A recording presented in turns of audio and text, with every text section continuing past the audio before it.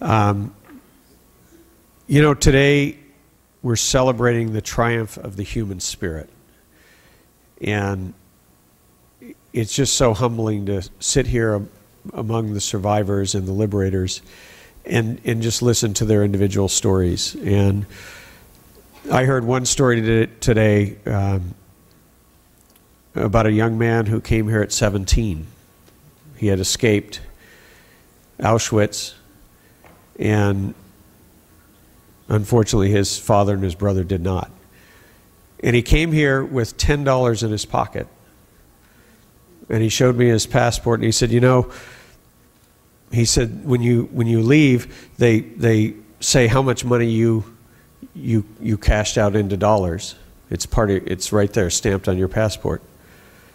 So he came here with $10 in his pocket. He said, and now I have a happy story. I have 10 grandchildren.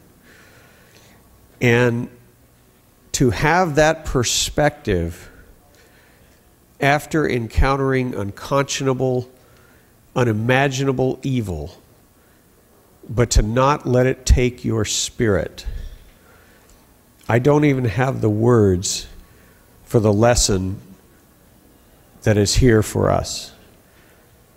But I want to say when somebody tells me that they're living the American dream and that's their description, it is an eloquence that I cannot even hope to to top. And so I'll just leave it in his words and say thank you to all of you who are here and for what you have to teach us and for letting us be part of your happy story and your incredible spirit.